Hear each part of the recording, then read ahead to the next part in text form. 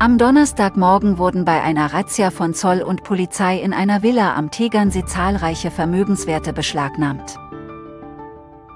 Wie Reporter der DPA berichteten, wurden aus der Villa in Rotach-Egern mehrere hochwertige Luxusfahrzeuge abtransportiert.